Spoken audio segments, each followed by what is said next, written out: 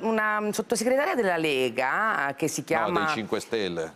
Pardon, della 5 Stelle, no, no della Lega sarebbe stato clamoroso, no? ha detto che io Macina, avrei chiesto di lei... vedere i video, ma... No, che lei parlando col suo avvocato, che è il Gioia Buongiorno, che è anche l'avvocato della ragazza presunta vittima dello stupro, eh, le avrebbe avuto dei particolari in più, avrebbe visto il video. Lei ne ha parlato con Giulia Buongiorno, ha avuto delle... Ma figurati te se col lavoro che io ho da fare vado a intrufolarmi nei processi altrui guardando i video del figlio di Grillo, solo pensarlo è una roba da matti che questa signora faccia il sottosegretario alla giustizia ah. e quindi che da questa signora che pensa che io vada a sbirciare i video dal buco della La serratura... Querela? Assolutamente, assolutamente.